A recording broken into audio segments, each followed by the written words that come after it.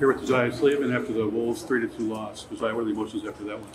Uh, you know, it's tough. Um, we fought back in the third, but uh, wasn't enough. We got to come to ready to play at the start of the game and not just in the third period. So um, it's tough because we fought so hard, uh, fought back, but um, at the end of the day, we got to be better from the start. Really came alive shorthanded, obviously. That didn't pretty good. Yeah, it felt good. Uh, we had been getting scored on on their kill, and so it felt good to put a couple in the back of the net for while we were out on the kill. Your goal was to remain close and stuff in the pocket. Is that, that all you guys needed at some point? Uh, yeah, I mean, uh, it was a fortunate bounce out of the corner, and it kind of popped right in front. And um, so sometimes you need those lucky bounces in order to put it in, but it felt good. So. Uh, would be remiss if I didn't ask what the C you're wearing on your on your sweater now. What's it uh, mean to you to be the Wolves captain?